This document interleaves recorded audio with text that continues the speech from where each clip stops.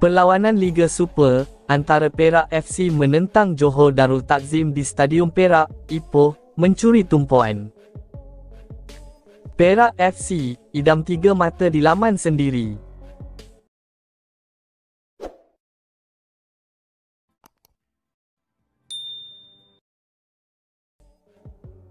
Perak FC yang kini dalam prestasi cemerlang di bawah kendalian Yusri Celah bersedia mencipta kejutan di laman sendiri apabila menerima kunjungan pasukan gegasi Liga Super Johor Darul Tazim FC pada 5 Oktober 2024. Dalam suasana penuh debaran di Stadium Perak, Ipoh, pertembungan ini dijangka menjadi salah satu aksi paling sengit musim ini.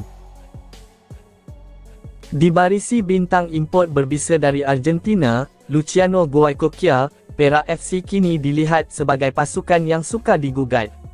Guaicochea, yang mempamerkan prestasi luar biasa, dengan ketajaman penyudah dan larian berbahaya, semakin menjadi mimpi ngeri buat pertahanan lawan.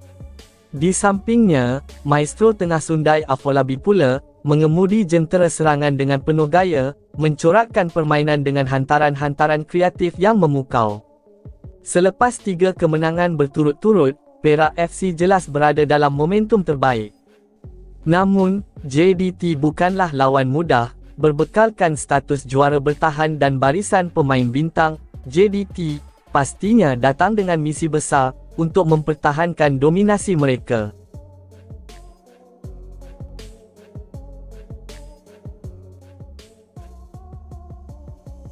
Bagi Perak FC, ini adalah peluang keemasan untuk membuktikan kemampuan mereka di pentas tertinggi.